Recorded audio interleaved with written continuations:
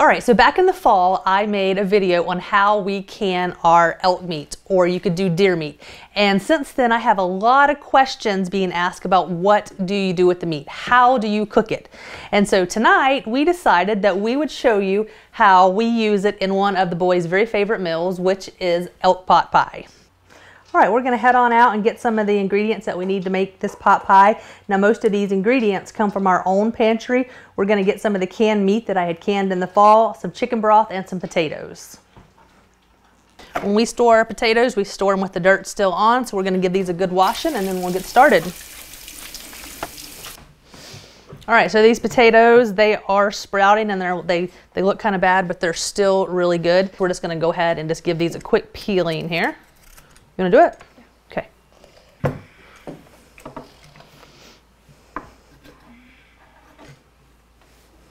All right, so while Finn is getting those potatoes peeled, I'm going to go ahead and start chopping up the celery.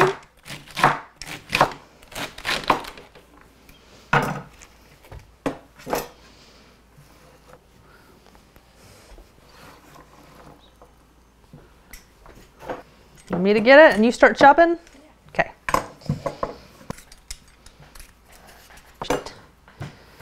Cut them in half. Cut it in half. We want little diced pieces, so like this. Yes? Uh,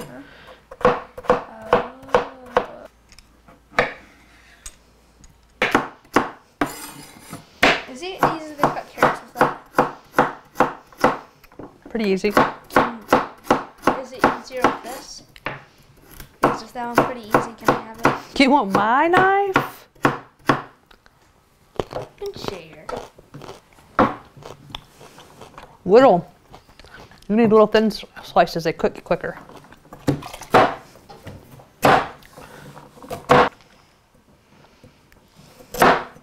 Watch your fingers, you're getting close.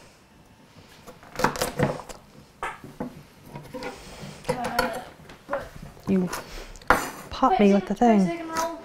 Why don't you pop it in your mouth and eat it? Five second roll? Dough. Dough. Yeah. All right, so we have all those vegetables cut up and we put them in a pot and we're just gonna steam them until they're just start, starting to get tender and then we'll take them and then we'll drain them and then we'll mix everything up. But for now, we're gonna go ahead and make the crust. Every time I make this pot pie, I use the same crust every time and it is a crust from the Pioneer Woman. She has the best crust ever and so we're gonna be using her recipe tonight. There you go. So don't pack it in there. You want nice and fluffy flour. We are using Crisco tonight because I do not have any lard, but if you have lard, you can use that as well. So here's the three. Okay. You want to use that or do you want to use this? Uh, this. That one, okay.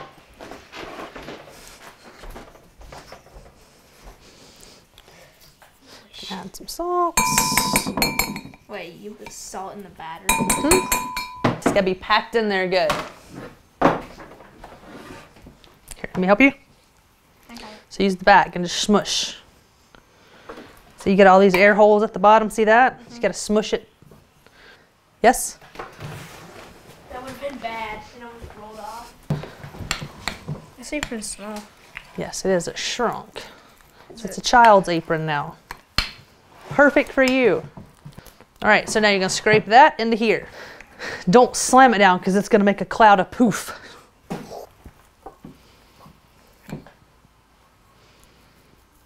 I wanna do it, Mom. Okay.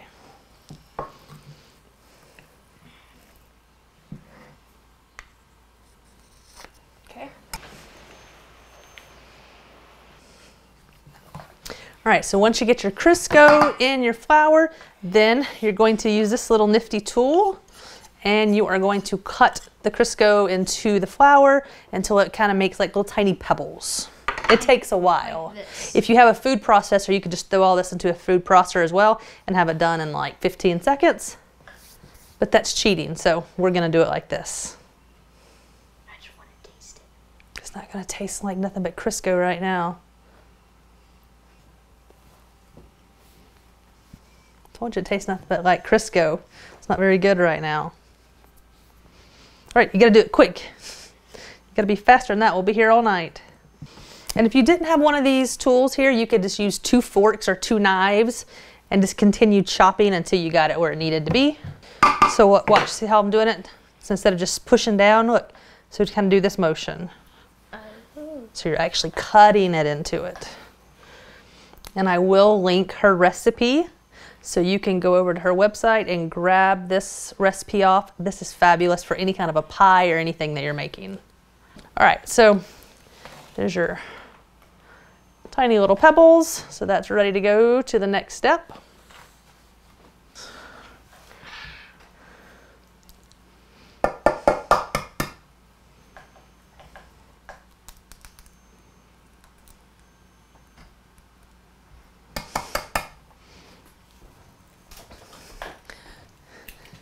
Eggshell. Got an eggshell. Can I do it? Um, sure, I'll let you do the next one. So, a couple tablespoons of vinegar. Add one more tablespoon, Finn.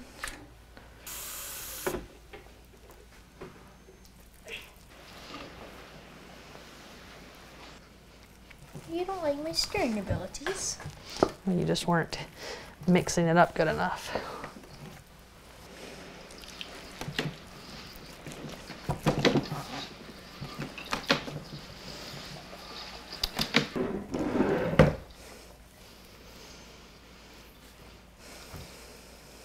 Okay, so pat it all in a nice little roll for us. Okay, now you're gonna split it in half. And then split that piece in half.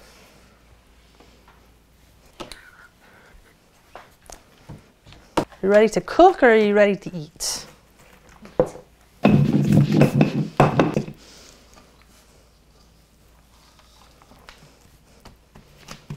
So we want this rolled into a rectangle. Remember, don't go back and forth because you'll rip it. So forward. So, Forward. yep.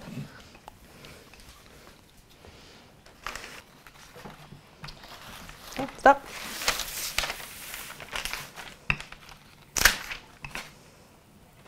They're starting to stick.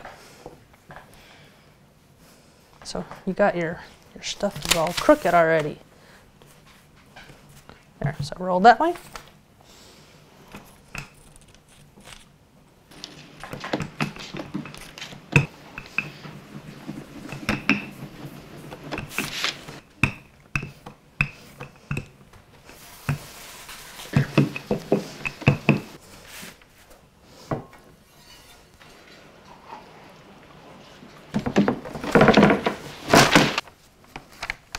Ready?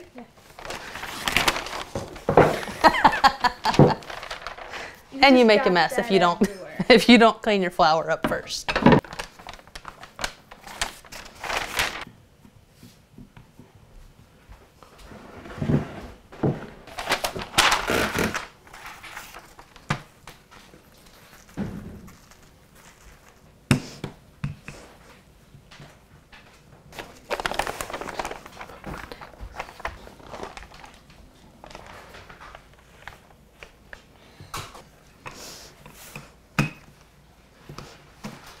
All right, so we just need to set this one to the side until we get all the filling put in.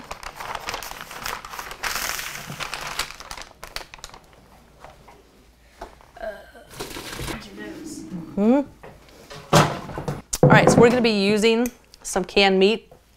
Now this has a layer of fat on it. Someone had told me they had threw this away because they thought this was bad. This is not bad. The dark colored meat at the top is just because it's out of the water and the white layer around here is just fat. But as long as your jar is sealed, then your meat is fine. I'm gonna pop these open. Good, it smells so good. Can I do This meat is already cooked. It cooks in the process when you can it. And so all you have to do is just open this up and add it to whatever you have cooked or whatever you're cooking. You don't have to cook the meat separately. It's already cooked. Let's put jelly in there. Hmm.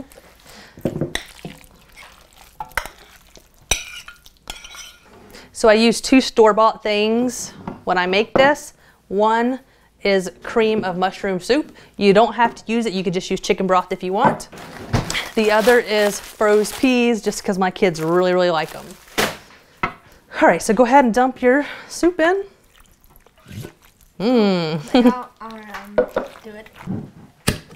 We're gonna add chicken broth to it. So mix it up really good.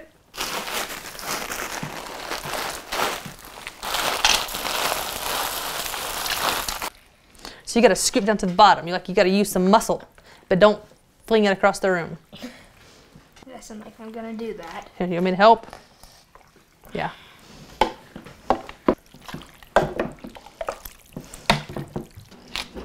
So salt and pepper it.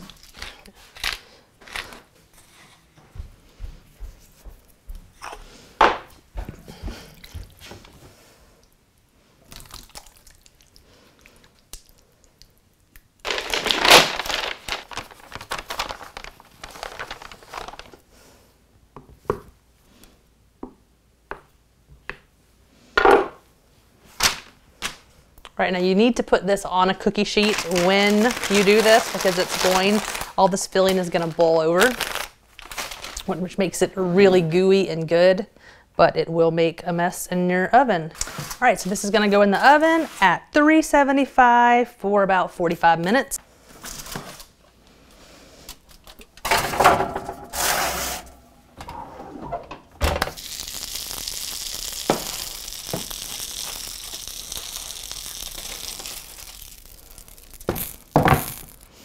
All right, so this is ready. We are gonna go ahead and dip some out and let it start cooling.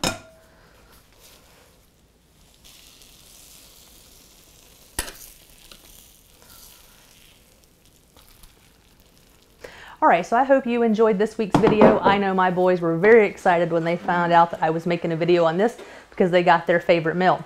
Now this is just one of the many things that we make with the canned meat. I mean, we're always making, you know, barbecue sandwiches or stews, chilies, fajitas, tacos. We like to mix it in the mornings with scrambled eggs to make breakfast burritos. And another way I like to use it is I, I, take that canned meat and then I mix it with gravy and put it on top of mashed potatoes.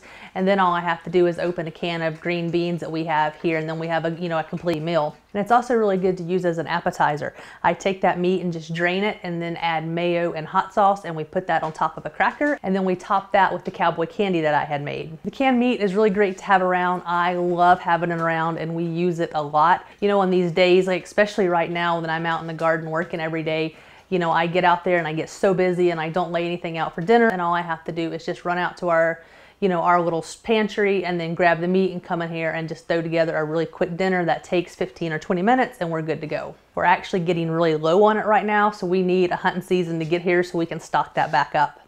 If you want to see more videos like this, don't forget to subscribe to the channel and also hit that bell icon so you will be notified when the next video comes out. Also, don't forget to head on over to Instagram and follow me over there at Life Like Lizzie. And with that, I'll see you on the next one.